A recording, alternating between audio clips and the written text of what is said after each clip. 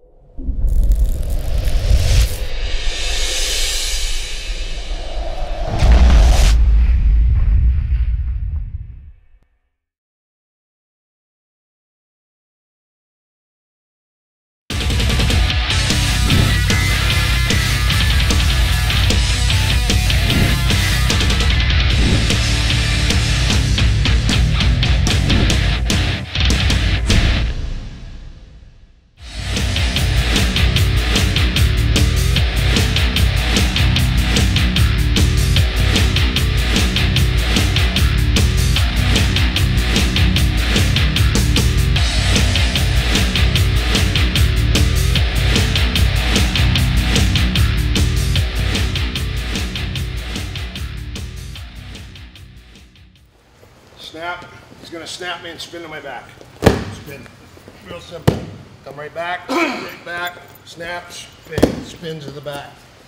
Notice uh, when, he, when he spins where his hand goes, so my hand can't go like this. So his hand goes on the side of my head or covers my tricep. Snap, spins to the back. Good. For guys, make sure you spin on your chest. For girls, spin on your stomach. So you don't get stuck. Snap, spin to the back. Here we go.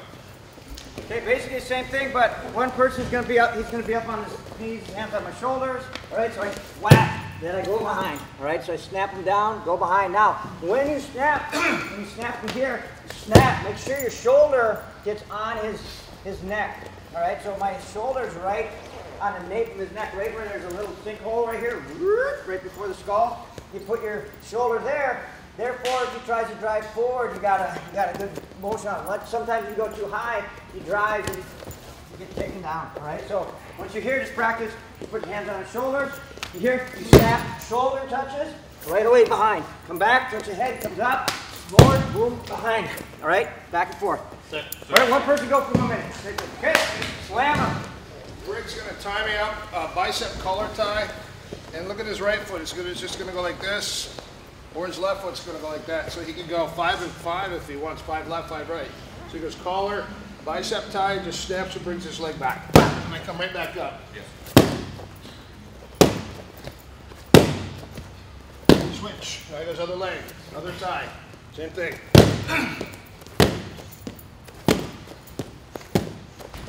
That's it. So you're actually giving your partner a scarecrow. Scarecrow, fall, immediately come right back up.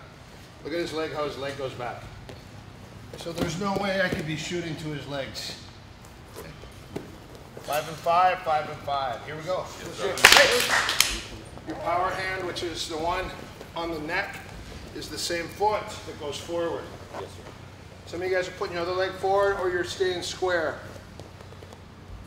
Okay, so square is okay, but it, it- power hand is the one on the neck. And then that leg goes straight back and then comes back up. And same thing on the other, same thing. And notice his tie up. He's actually forming a heart, a heart, so I, I can't get a hold of him. And that's what it's for, because he could even use a knee. Oh, and then clap, snaps me. That's it. That's where the drill is. For training, we just do it on our knees so you get that speed. Okay, now, this time as you snap them down, right, you can do the same thing, head inside, power hand.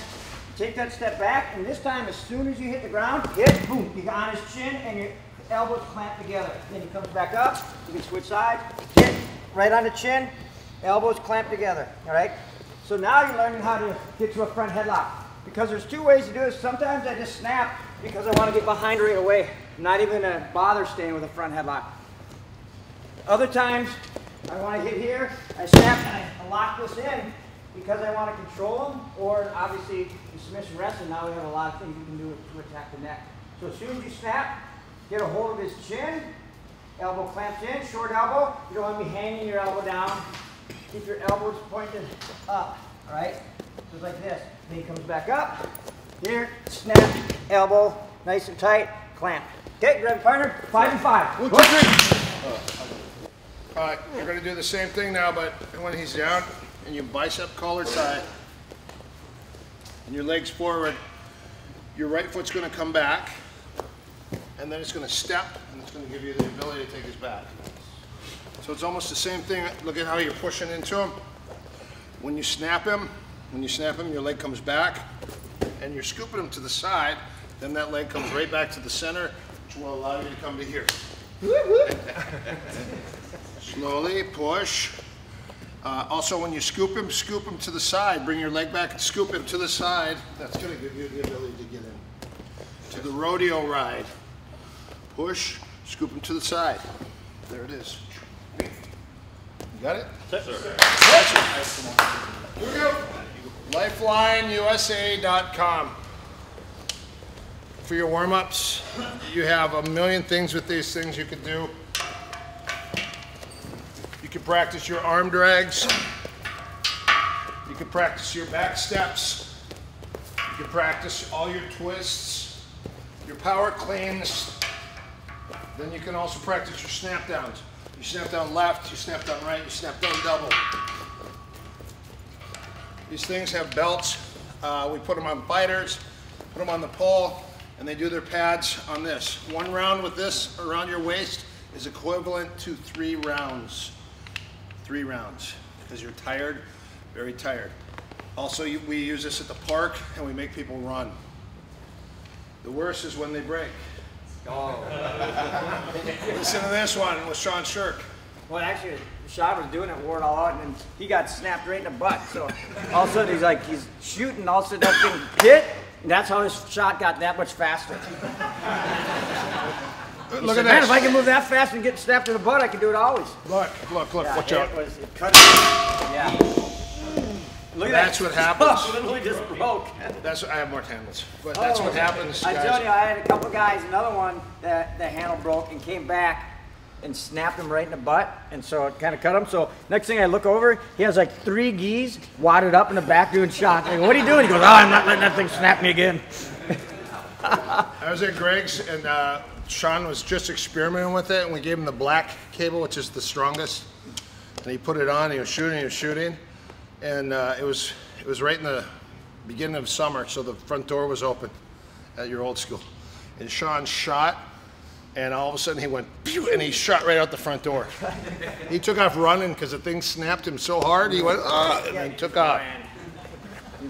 This thing though helps your uh, helps your core big time. It helps your shots. It helps your striking.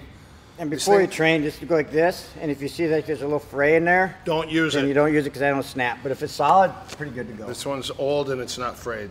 So, anyways, LifelineUSA.com. They're pretty cheap. Um, I, I actually brought these into the mixed martial arts world years ago when we were just experimenting and playing with it. Vale Tudo tape too. We have a bunch. Of Yeah, we had Vale Tudo tape, and this was on there. But uh, my friend John Hines, he makes these. John is his father owns Lifeline, and uh, John used to train with us at the Inosanto Academy.